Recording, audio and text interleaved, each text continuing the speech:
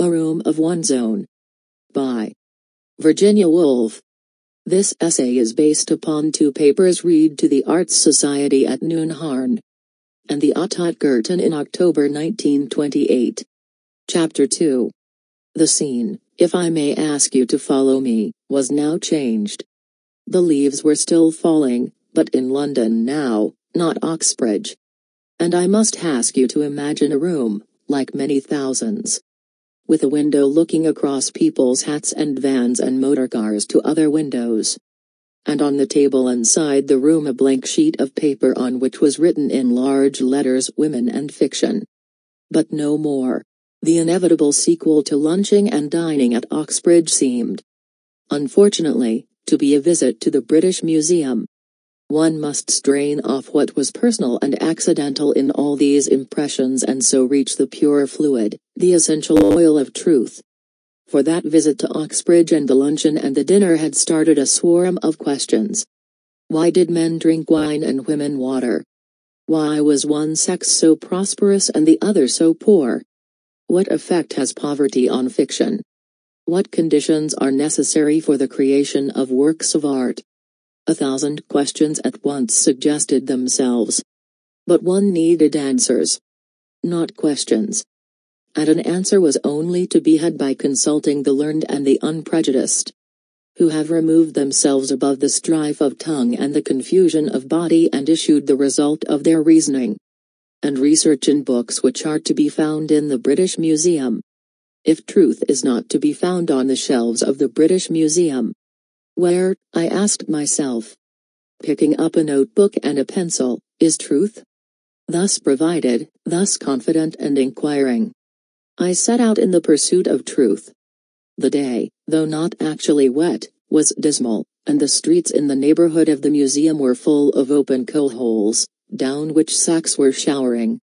Four-wheeled cabs were drawing up and depositing on the pavement corded boxes containing, presumably, the entire wardrobe of some Swiss or Italian family seeking fortune or refuge or some other desirable commodity which is to be found in the boarding houses of Bloomsbury in the winter. The usual hoarse-voiced men paraded the streets with plants on barrows. Some shouted, others sang. London was like a workshop. London was like a machine. We were all being shot backwards and forwards on this plain foundation to make some pattern.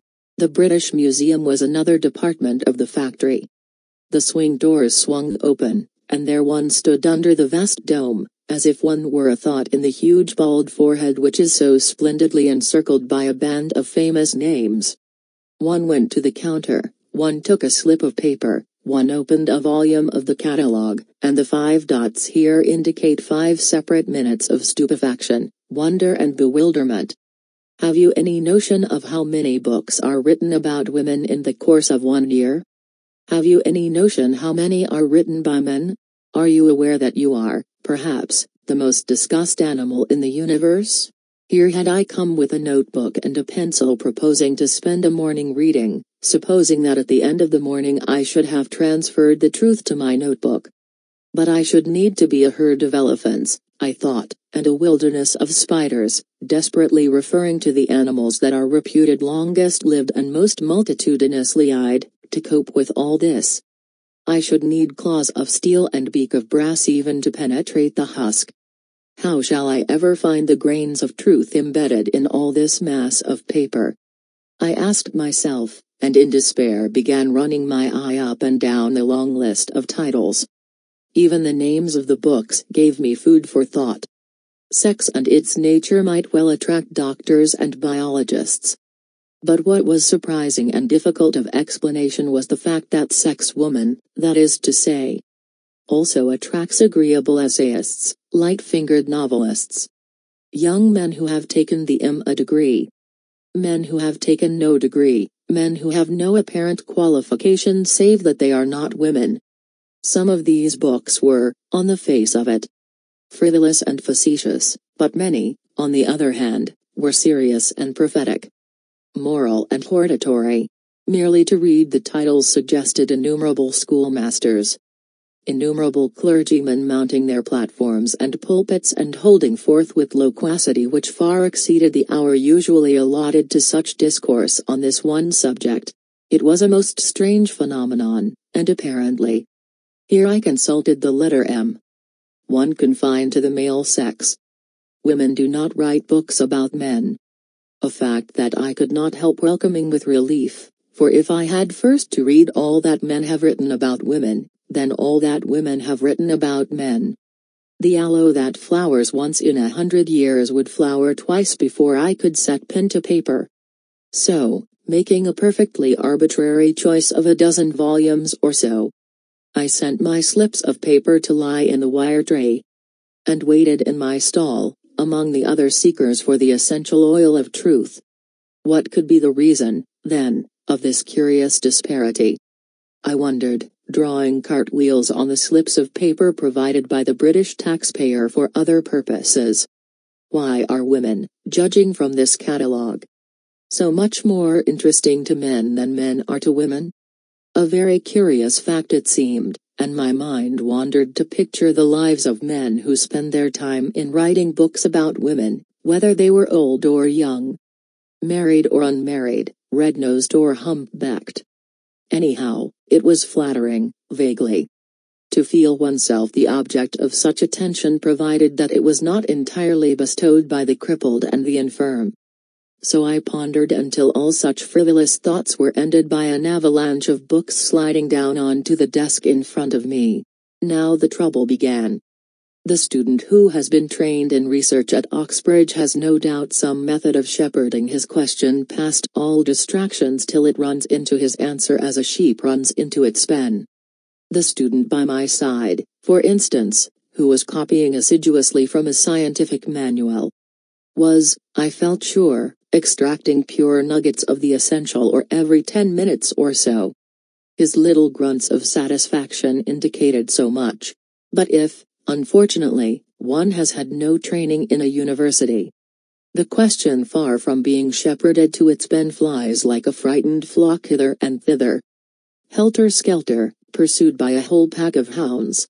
Professors, schoolmasters, sociologists, clergymen, novelists, essayists, journalists.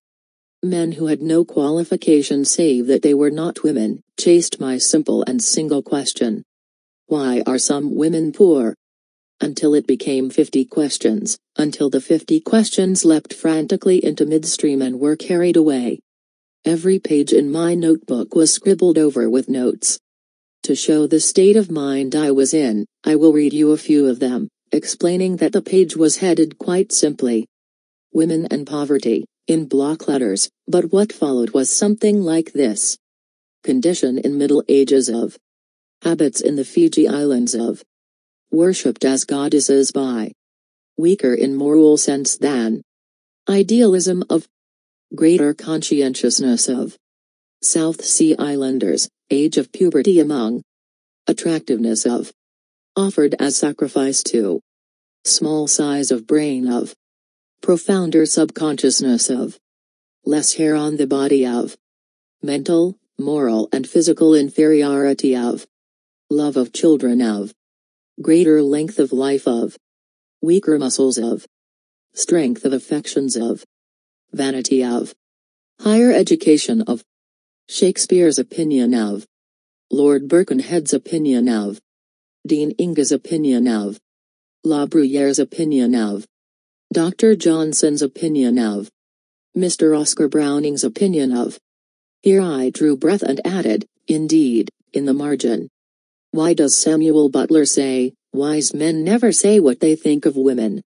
Wise men never say anything else apparently. But, I continued, leaning back in my chair and looking at the vast dome in which I was a single but by now somewhat harassed thought, what is so unfortunate is that wise men never think the same thing about women. Here is Pope. Most women have no character at all. And here is La Bruyere. Les femmes sont extremes. Elles sont mais pires A direct contradiction by keen observers who are contemporary. Are they capable of education or incapable? Napoleon thought them incapable. Dr. Johnson thought the opposite. Men know that women are an overmatch for them.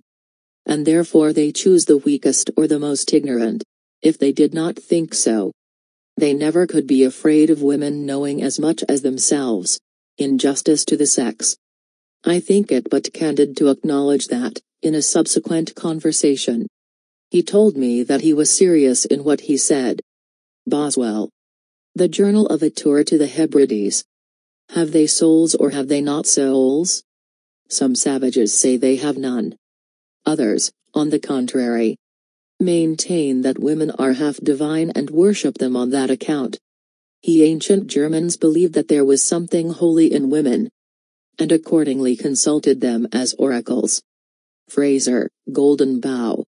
Some sages hold that they are shallower in the brain. Others that they are deeper in the consciousness. Goethe honored them, Mussolini despises them. Wherever one looked men thought about women and thought differently.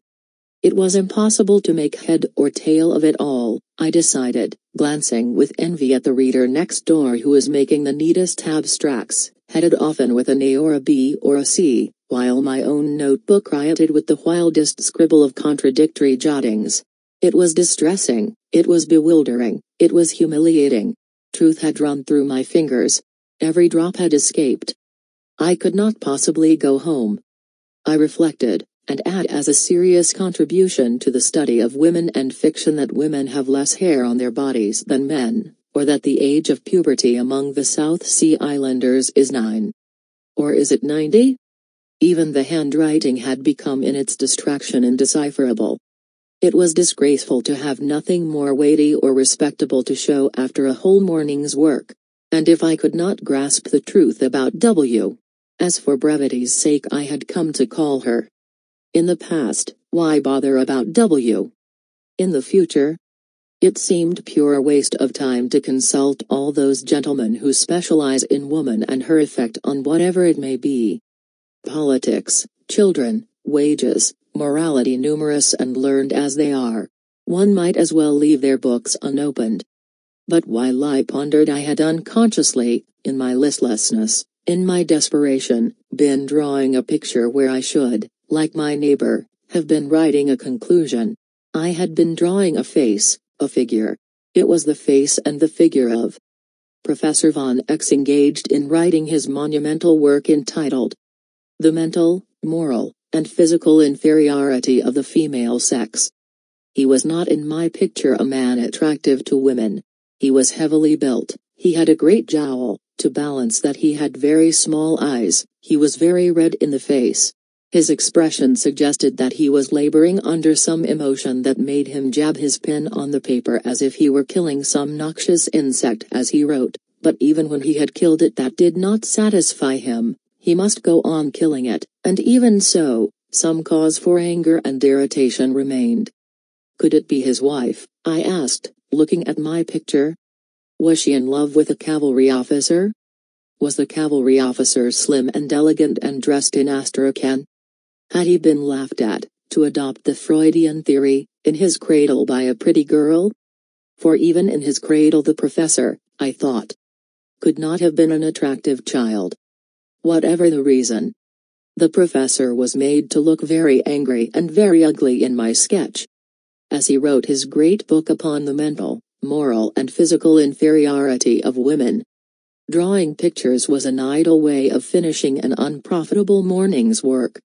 Yet it is in our idleness, in our dreams, that the submerged truth sometimes comes to the top. A very elementary exercise in psychology. Not to be dignified by the name of psychoanalysis.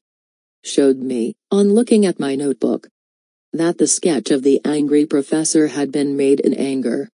Anger had snatched my pencil while I dreamt. But what was anger doing there? Interest, confusion, amusement, boredom. All these emotions I could trace and name as they succeeded each other throughout the morning. Had anger, the black snake, been lurking among them? Yes, said the sketch, anger had. It referred me unmistakably to the one book.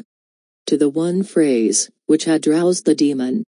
It was the professor's statement about the mental, moral and physical inferiority of women. My heart had leapt. My cheeks had burned.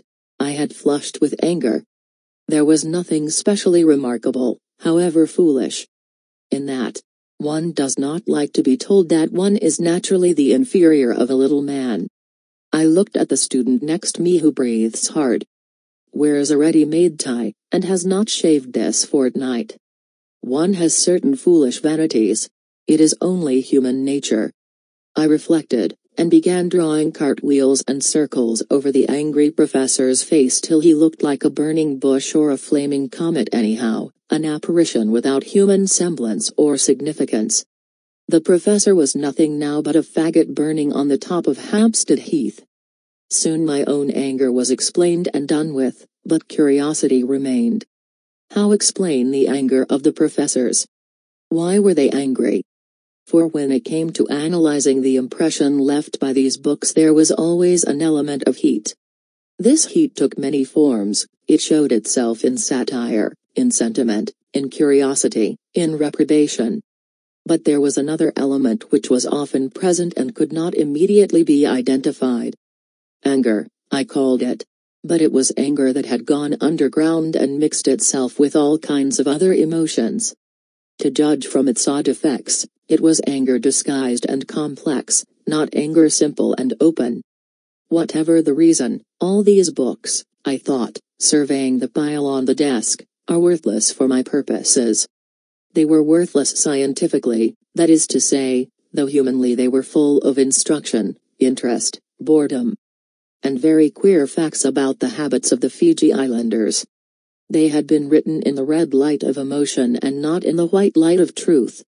Therefore they must be returned to the central desk and restored each to his own cell in the enormous honeycomb. All that I had retrieved from that morning's work had been the one fact of anger. The professors. I lumped them together thus were angry. But why, I asked myself, having returned the books. Why, I repeated, standing under the colonnade among the pigeons and the prehistoric canoes. Why are they angry? And, asking myself this question, I strolled off to find a place for luncheon. What is the real nature of what I call for the moment their anger? I asked. Here was a puzzle that would last all the time that it takes to be served with food in a small restaurant somewhere near the British Museum. Some previous luncher had left the lunch edition of the evening paper on a chair, and, waiting to be served. I began idly reading the headlines. A ribbon of very large letters ran across the page. Somebody had made a big score in South Africa. Lesser ribbons announced that Sir Austen Chamberlain was at Geneva. A meat axe with human hair on it had been found in a cellar. Mr. Justice, commented in the divorce courts upon the shamelessness of women. Sprinkled about the paper were other pieces of news. A film actress had been lowered from a peak in California and hung suspended in midair. The weather was going to be foggy. The most transient visitor to this planet.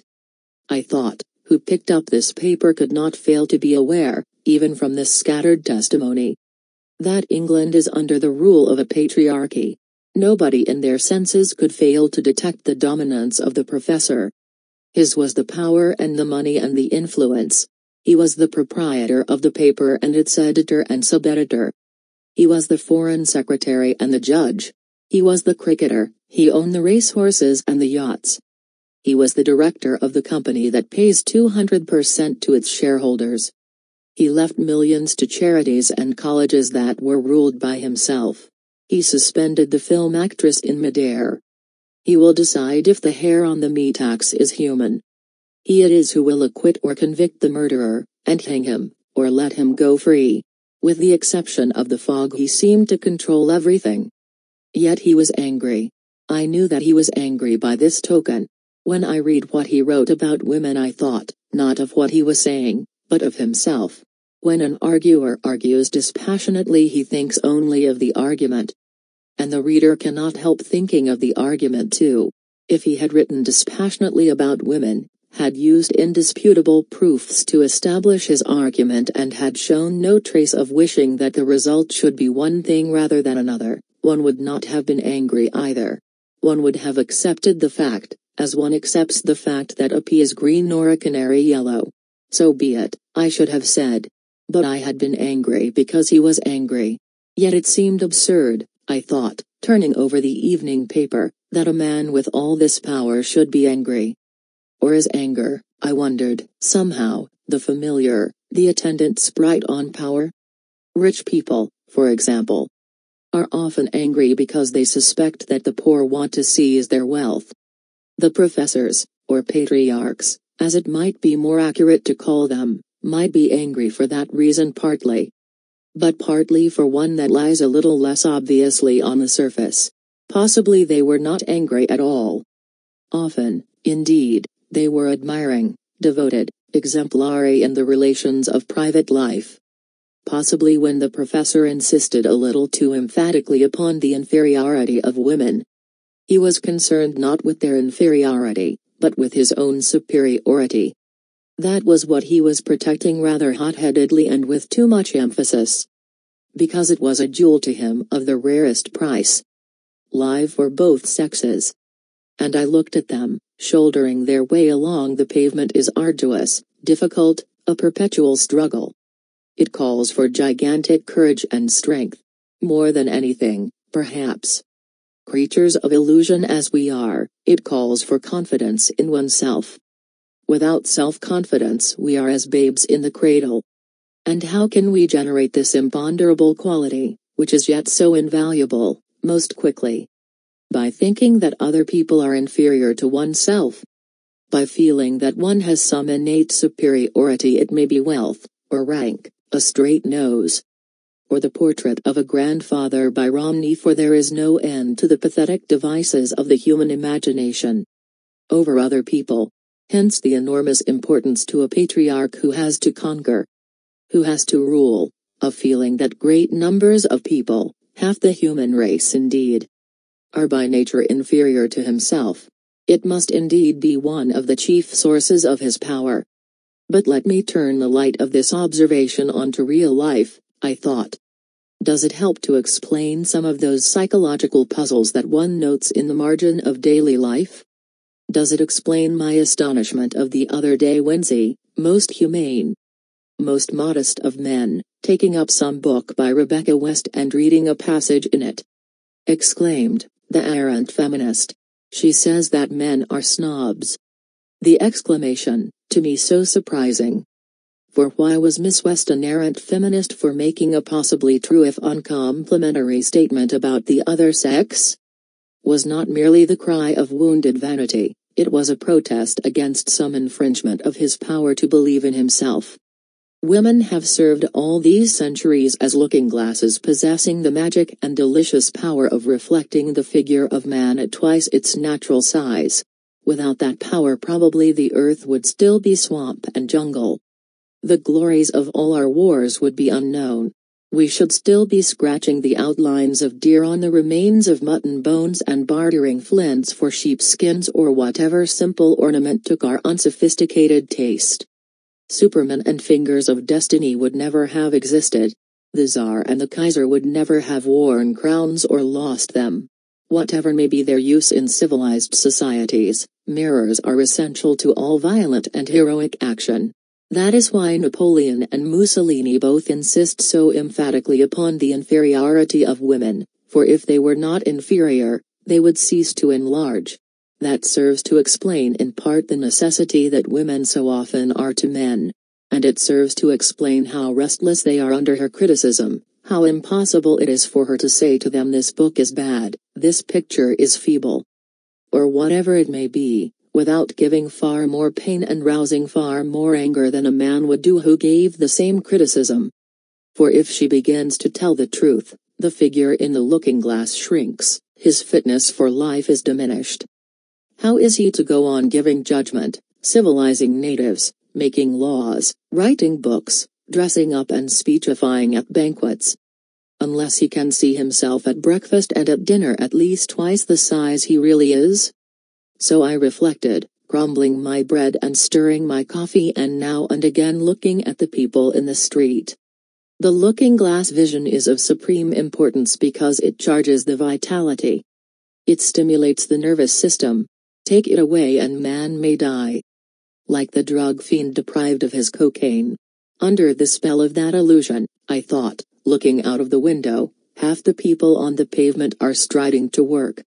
They put on their hats and coats in the morning under its agreeable rays.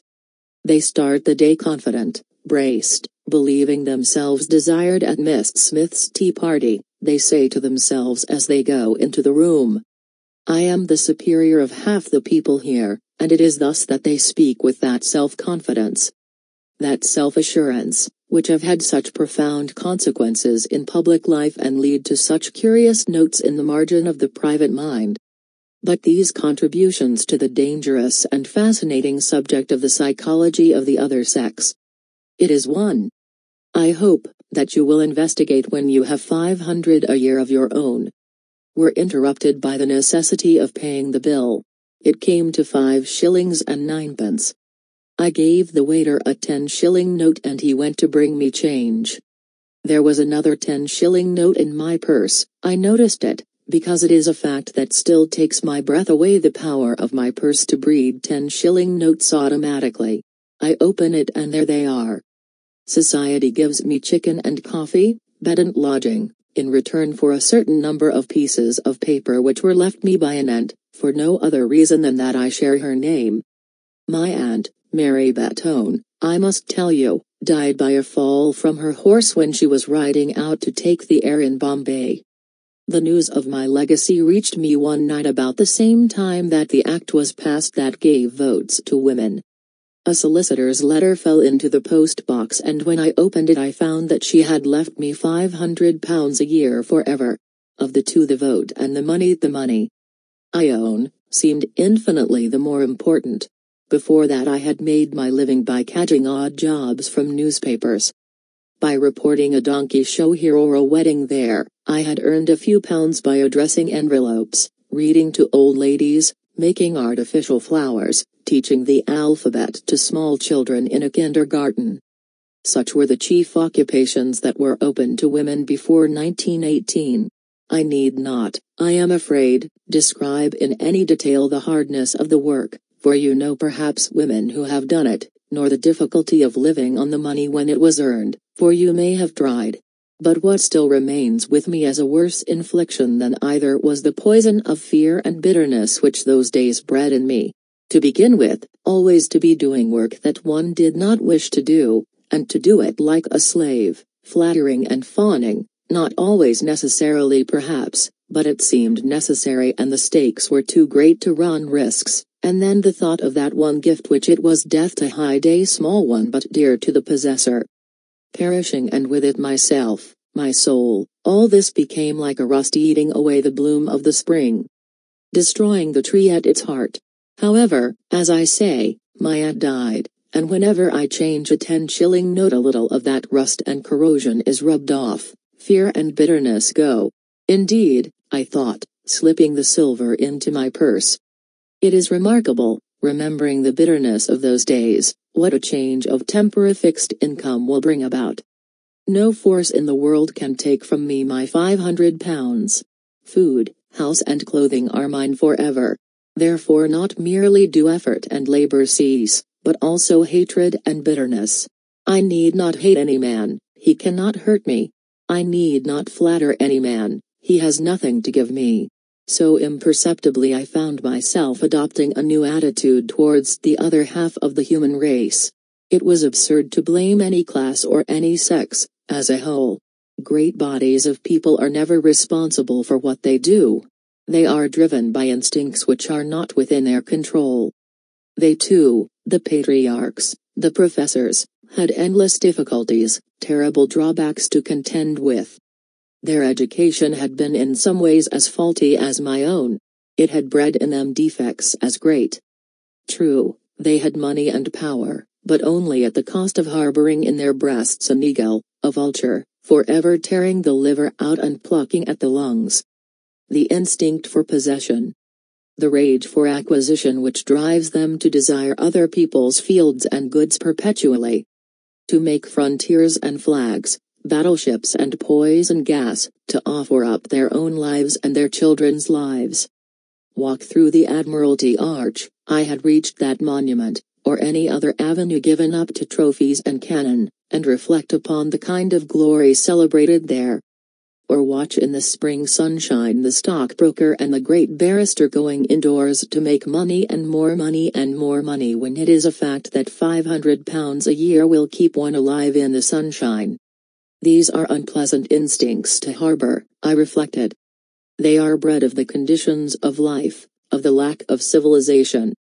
I thought, looking at the statue of the Duke of Cambridge, and in particular at the feathers in his cocked hat. With a fixity that they have scarcely ever received before. And, as I realized these drawbacks, by degrees fear and bitterness modified themselves into pity and toleration. And then in a year or two, pity and toleration went, and the greatest release of all came. Which is freedom to think of things in themselves. That building, for example, do I like it or not? Is that picture beautiful or not? Is that in my opinion a good book or a bad? Indeed my aunt's legacy unveiled the sky to me, and substituted for the large and imposing figure of a gentleman, which Milton recommended for my perpetual adoration, a view of the open sky. So thinking, so speculating I found my way back to my house by the river. Lamps were being lit and an indescribable change had come over London since the morning hour. It was as if the great machine after laboring all day had made with our help a few yards of something very exciting and beautiful a fiery fabric flashing with red eyes, a tawny monster roaring with hot breath. Even the wind seemed flung like a flag as it lashed the houses and rattled the hoardings. In my little street, however, domesticity prevailed. The house painter was descending his ladder, the nursemaid was wheeling the perambulator carefully in and out back to nursery tea, the coal heaver was folding his empty sacks on top of each other. The woman who keeps the greengrocer's shop was adding up the day's takings with her hands in red mittens. But so engrossed was I with the problem you have laid upon my shoulders that I could not see even these usual sights without referring them to one center. I thought how much harder it is now than it must have been even a century ago to say which of these employments is the higher. The more necessary. Is it better to be a coal heaver or a nursemaid? Is the charwoman who has brought up eight children of less value to the world than the barrister who has made a hundred thousand pounds? It is useless to ask such questions, for nobody can answer them. Not only do the comparative values of charwomen and lawyers rise and fall from decade to decade, but we have no rods with which to measure them even as they are at the moment. I had been foolish to ask my professor to furnish me with indisputable proofs of this or that in his argument about women.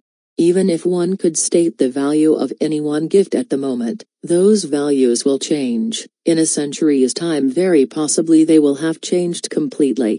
Moreover, in a hundred years. I thought, reaching my own doorstep, women will have ceased to be the protected sex. Logically they will take part in all the activities and exertions that were once denied them. The nursemaid will heave coal. The shopwoman will drive an engine. All assumptions founded on the facts observed when women were the protected sex will have disappeared as, for example, here a squad of soldiers march down the street that women and clergymen and gardeners live longer than other people. Remove that protection, expose them to the same exertions and activities, make them soldiers and sailors and engine drivers and dock laborers. And will not women die off so much younger, so much quicker, than men that one will say. I saw a woman today, as one used to say, I saw an aeroplane. Anything may happen when womanhood has ceased to be a protected occupation. I thought, opening the door. But what bearing has all this upon the subject of my paper? Women and fiction? I asked, going indoors. End of chapter 2. Thank you.